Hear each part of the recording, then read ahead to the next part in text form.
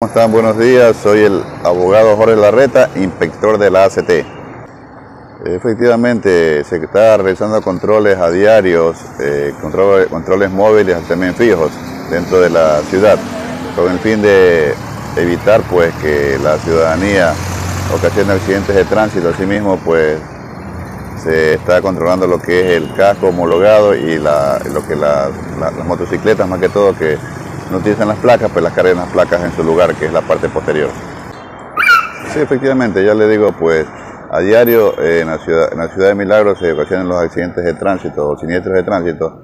eh, muchas veces por la impericia o imprudencia de los conductores, ¿no? Por eso el llamado a nosotros de que más que todos los motociclistas utilicen eh, sus documentos al día y asimismo pues los cascos homologados y como le vuelvo le repito, la placa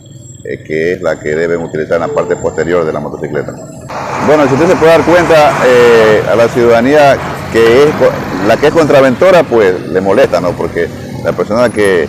que contraviene las normas de tránsito, pues no le gusta, pero las personas que tienen sus documentos al día y las personas que cumplen lo que dice la ley de tránsito, no hay ningún problema, no tienen ninguna novedad. En este momento eh, no estamos actuando directamente, solo se le hace un llamado a la atención en razón de que no la normativa de tránsito, pues aquí hay que crear una ordenanza pues por medio de Consejo Cantonal y, pues porque se pueda sancionar este tipo de contravenciones que son las que cometen las motos eléctricas. Bueno, eh, aquí no se hace persecución a nadie, simplemente se le, para la, se le detiene la marcha al vehículo, sea pues este motocicleta o, carro.